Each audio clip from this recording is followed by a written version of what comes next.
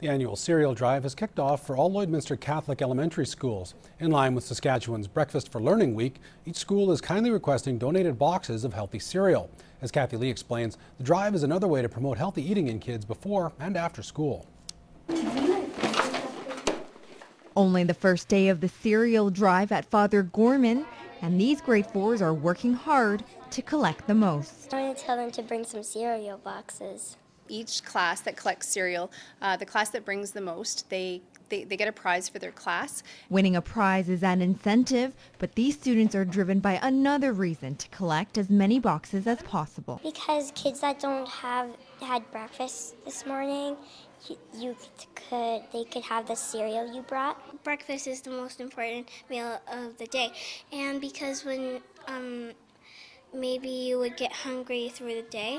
All donated cereal helps support the school's breakfast and after school program. It's very important for kids to have a good breakfast before they come to school uh, so they're ready to learn, they're settled, their stomachs aren't hungry because they've just slept for 12 or plus hours and uh, their bodies have been fasting, so they really need to eat before they start to learn. While any donation is appreciated, the school is focusing on promoting health. And we're very specific in the types of cereals that we want um, families to bring.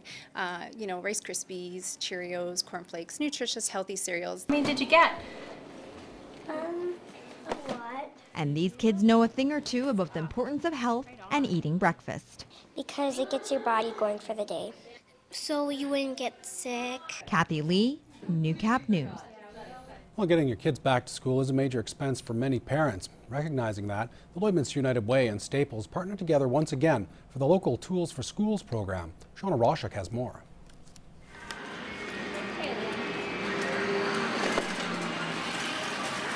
The annual Tools for Schools program is helping some local students head back to class with the essential supplies they need. It also gives support for parents who may find it hard to make ends meet with all the expenses that come with the start of a new school year.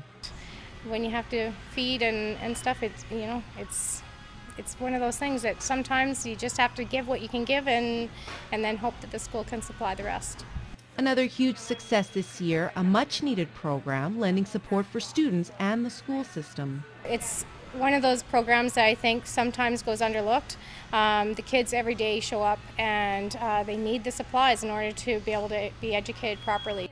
Even with a strong economy here in the border city and more people moving into the region, not every family is prospering. We've got a lot of people that have come in from other countries and stuff that are coming into the school system. So as that growth and demand goes up, of course, this demand for this program is going to go up. Over $2,000 in cash was raised along with over five shopping carts full of school products, all going towards helping students in both the public and Catholic school system from kindergarten through to grade 12. When I was talking to the schools, they say that they're looking at about 20 kids per school that uh, are looking for stuff around this time of year. And so, you know, we're looking at at least 100 kids that are going to be affected by the program. The campaign wraps up this weekend. However, Tuck says both Staples and the United Way will still accept cash donations or school supplies for the program. Shauna Roshik, Newcap News. Poetry and stories filled the night air on Saturday as writers from around the border city got together for a meeting of the Saskatchewan Writers Guild Board. The displayed photos are textures and colors. Words chosen carefully and well received were the order of the day as local writers shared their talents at an open mic night hosted by the Saskatchewan Writers Guild. We have wonderful writers across the province, and to get to meet some of those writers is, is a lot of fun for us as well. The Guild boasts 700 members across Saskatchewan, with two thirds of them in Saskatoon and Regina. Part of it is outreach to, to show people that we're not an organization that is completely hub centric, that we do care about the writers who are in the rural areas and in the areas outside of the, out of, outside of the, the bigger cities. The group welcomes writers of all levels, including first timers and those who have been published multiple times. Farmers here are in a bit of a standstill as they await the legislative decision. They're harvesting now, but they're unable to plan ahead for next year's grain season. Right now, the board isn't offering any contract options later than October because they're unsure of their future. As Whitney Stinson reports, especially here where Minister Gerry Ritz is also our local MP, it's a hot button issue. Jim Matherall was one of the 62% of farmers who voted in favor of the Canadian Wheat Board.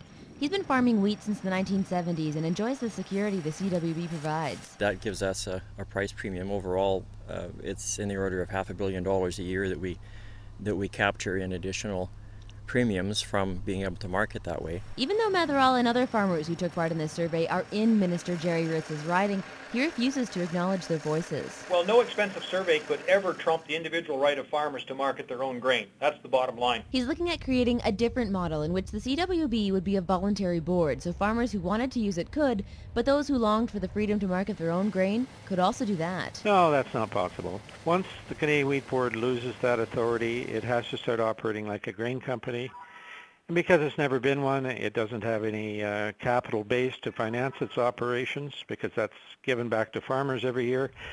And most importantly, no facilities, uh, either in country or at port. So it's in a situation where it's got to rent uh, space from its competitors. We uh, look at the Australian model. It's uh, proven everything we've said is possible here in Canada. They're growing more product. They're um, selling to two and a half times as many countries as they did before. It's an example of what we need to do, and we will continue to move forward to give Western Canadian farmers the same rights and freedoms that now farmers in Australia and Ontario, for that matter, enjoy. Matherall thinks a bidding war on his grain wouldn't necessarily be a bad thing all the time, but long term, he'd lose cash. Obviously, certain individuals are in a position from time to time to, to capture a premium spot price, but uh, and you'd always hope that you'd be one of those some of the time, but but uh, year in and year out, we're going to take less money. Farmers now have to wait out this very public battle before they can figure out next year's farming season. Some, like Matherall, hope that democracy will rule, but Ritz insists democracy already spoke when they voted him into power. Whitney Stinson, Newcap News.